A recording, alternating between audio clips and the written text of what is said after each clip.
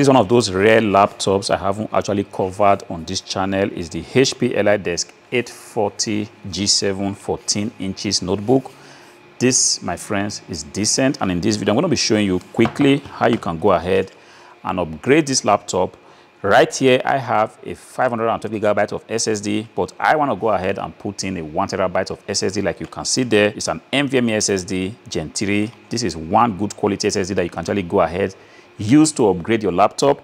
This video is not sponsored, but I just felt like I can actually quickly tell you that because I have used this for a very, very long time and I realized that this is something that you can actually use. See, if you flip this laptop over, you are going to be seeing that there are one, two, three, four, five screws here and I'm just going to go ahead and take them out one after the other because without taking out the screws you have absolutely no way to get to install a new NVMe SSD on this machine right here. So that's two and that's the third one and the last one is right here. See, when you unlock these screws, don't be scared it's not going to fall off because right now HP has pretty much realized that long time ago these screws used to fall out and people didn't like that idea but right now you can just unscrew your laptop and you still have the screws in place now that that is done I'm going to go ahead and try to pry this laptop open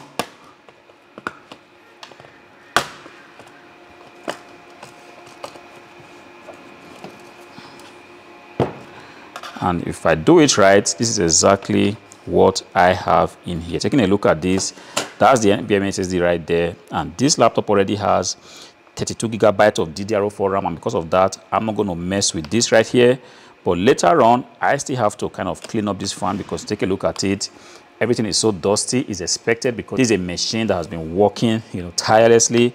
And this machine here has no intention of actually stopping. So with the same screw, I'm to go ahead and open the NVMe SSD. Just be careful sometimes because the screws might be so tight and if you use the wrong screwdriver, you might end up you know, ruining the screw head right there. But this pretty much came out easily and I'm just going to pop that out.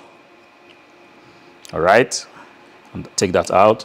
And then I'm to go ahead and unbox my SSD. If you want to see a comprehensive video of me, you know, talking about this SSD, pretty much click on the link here. You are definitely to find that. So with the SSD out, I'm to take it and slot it back on. And thereafter, replace my screwdriver like that. All right. It's an easy process. You pretty much do not need any specialized keys to do this. But the only tip I can give to you is just be gentle while you are handling this stuff because you never can tell when things will just go wrong. But if you have handled this laptop, you know, open it carefully. You are not forcing out the screws and when you opened it you didn't have to you know force this out to make sure that the clips here are broken you can pretty much do that in a matter of minutes all right? That is done. I only have to clean this and then we are ready to close this laptop back again.